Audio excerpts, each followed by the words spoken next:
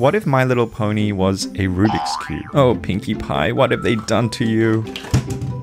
Um, was this supposed to go? Oh, it's because it stops the head from turning. That's crazy. Okay, let's scramble you and see what happens. What? No way. Don't tell me.